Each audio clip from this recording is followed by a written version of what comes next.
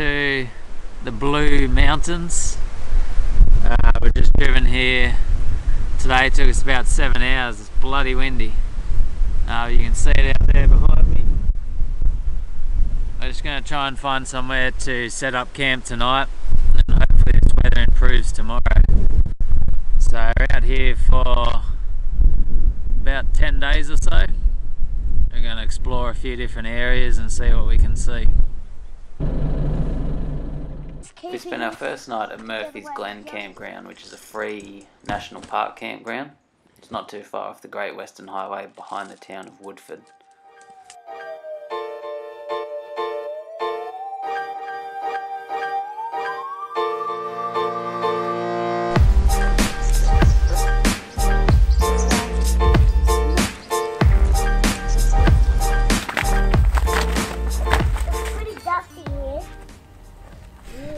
So recovery number one of the trip done. Thankfully it wasn't us. Uh, even though this road says um, Four drives only. four drives only. Guy tried to take his Commodore down and couldn't get it back out. So we had to give him a tow up the hill. He had no recovery gear, no recovery points. All he had was a tow ball and I definitely did not want to pull off that, but that was all I could do. Uh, it wasn't one of those ones you could take off and put it through the pin either. So I just uh, first gear low range and idled out, so minimal stress, and had a couple of uh, dampeners on. And he didn't really need much of a pull, so that's just what we had to do. But got him out pretty easy. It's so dusty out here today. It's dust everywhere. Hasn't rained here in probably two, three months. Bye bye, bye.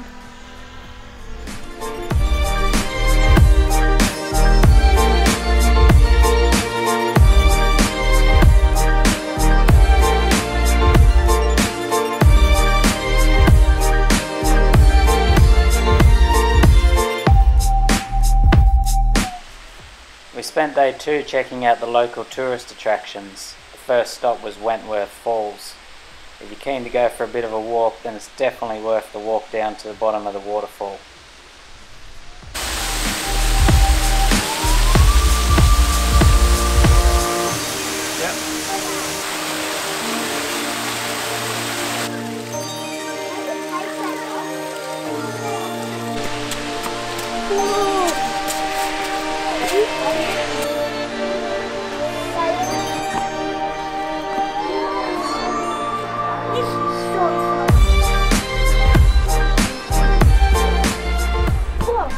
Pretty steep steps. Right on the side of the mountain. These steps just keep going and going. I'd say we're gonna have a. l- I think we're gonna have a long walk out of here. Kai wants to keep going.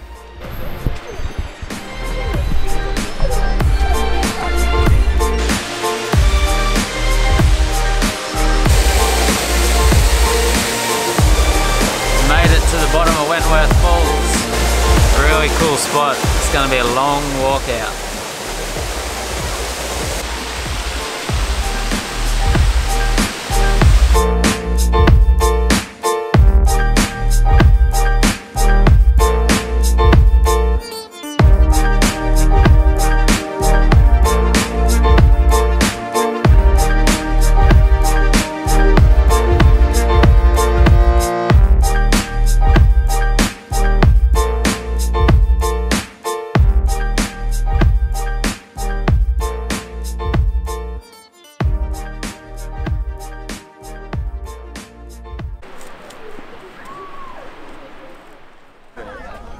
Stop was the Three Sisters, but there was a lot of people there.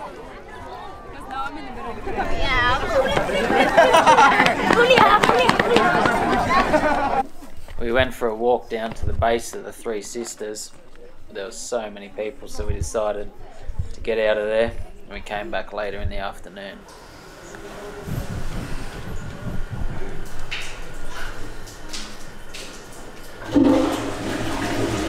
Sky rail up there. Yeah. We're hopefully going to go on that tomorrow. where we are, probably. Check out the view. We're pretty sure we're gonna go on it. Yeah, pretty sure.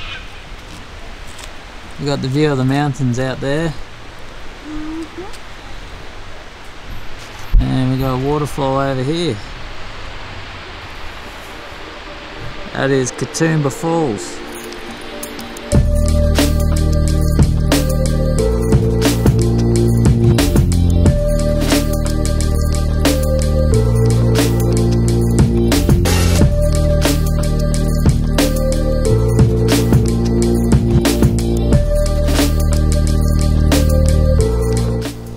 I actually Hey Kai, how many stairs do you reckon we've walked up today? 60. 60,000. Yeah. Did you have a fun day today? Oh yeah, camera. It's getting pretty cold now. Let's go. Come on, camera. Let's go back to camp. Steady.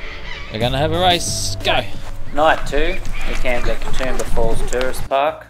It's a nice spot. Got hot showers there and it's close to everything, which is what we wanted. So we're able to go check out the Three Sisters late in the afternoon. The next morning we got up early and headed off to Scenic World. We got to go on some pretty awesome rides, which you could see all over the valleys. You could see the Three Sisters and see Katoomba Falls. Train's coming back up. Less than two minutes to wait. For this car, you get to choose what seat you want to go. What do you mean? What do you mean? So you can either go cliffhanger, which is like really steep, or original, which is in the middle, or laid back, which is not very steep. I'm gonna choose that one. The steepest one, Yeah. good idea. Are you ready? Wow, these it's literally like. Not even touched. Oh my god.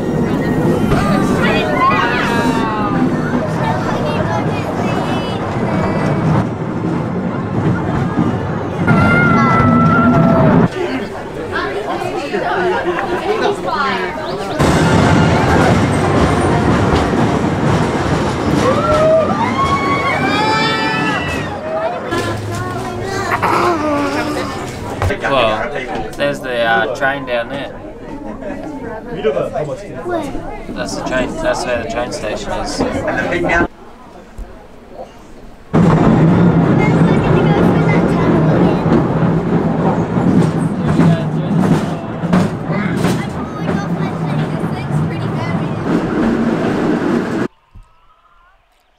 After we finished up at Scenic World, we started making our way west towards the Cox's River and the six foot track, which would eventually take us through to Jenolan Caves.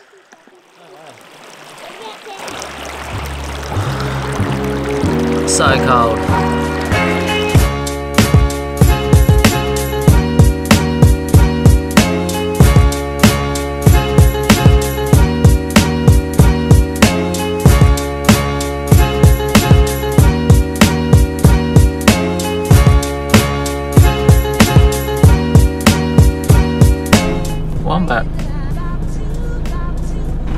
Where we're going. The six foot track.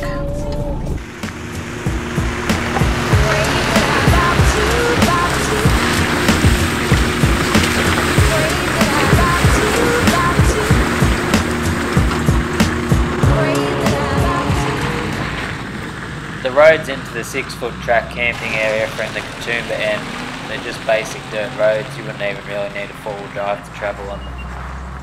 When we got to the camp area, the first thing we did is go on the walk out to the swinging bridge. From memory, the walk is, I think it's only about a kilometre, so it's not too far. Definitely worth it. Awesome spot. Six foot track swinging bridge. Uh, it's a big bridge.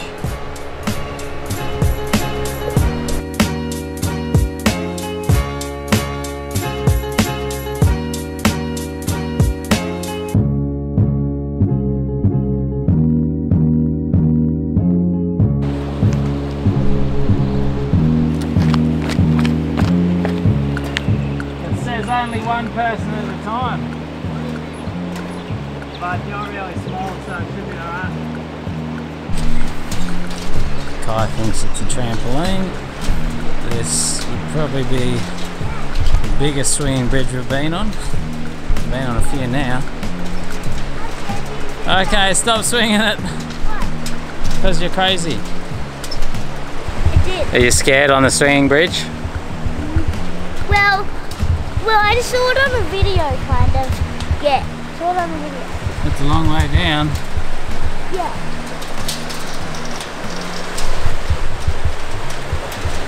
Oh, We're nearly out in the middle. Whoa!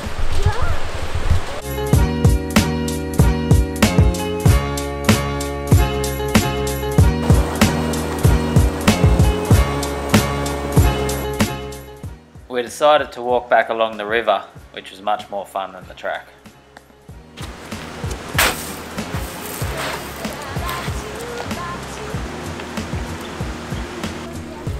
Go jump.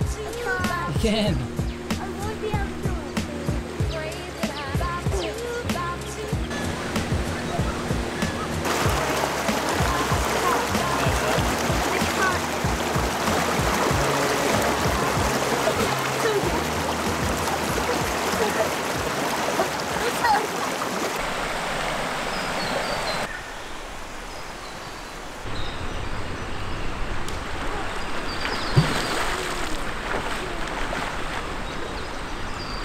This is the Cox River six foot track campsite.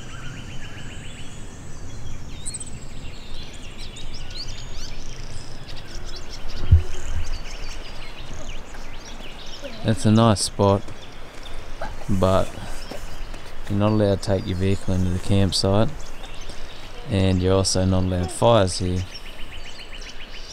So we camped in the car park a six foot track. I think the whole thing's about 45 kilometres. Starts at up near Katoomba, and then this is all walking singular track. And we're camped here at the moment. But I've been told that you can drive the rest of the track out, out to Jenolan Cave, so that's where we're heading today.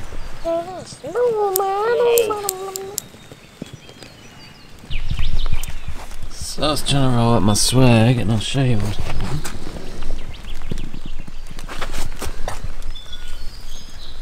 Oh my god. He's hiding. Trying to hide under our bed. I don't even know where he's going. He's hiding. Just have to keep rolling until I find him. I Oh, he's- there it is. yeah. He's opening. Alright, get off. So- Put it under a nice little tree because it's raining. Return the spider to its home on the tree. I think an ant's about to eat it. Do you? Hope not. Why do you Oh, there's an ant. Ran past.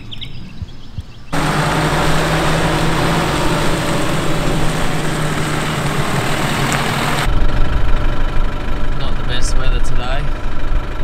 It's pretty wet. So we left camp. Um, now that's the way we came from yesterday out there, which is up to the west, Great Western Highway. Now, according to the map, there's this other way out to Jenolan Caves, which is where we want to go. And on the map it says you can't get through, but then we spoke to uh, another four-wheel driver last night who came through that way and said you can get through, so we're going to head out that way.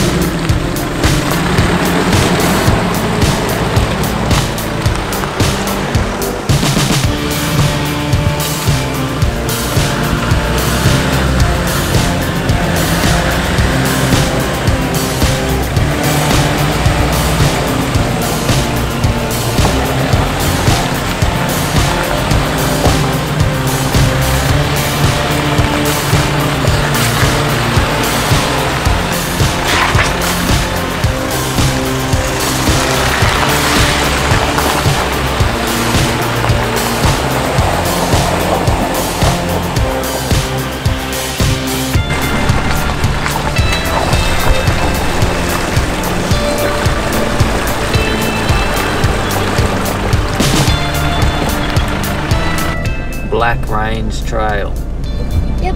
Black Range Trail. Good view out over the mountains.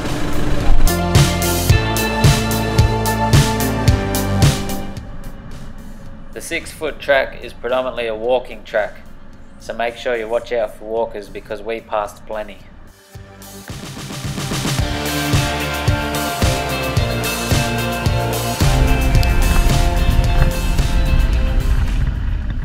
Six foot track camping area, you can make it all the way out to Jenolan Caves Road.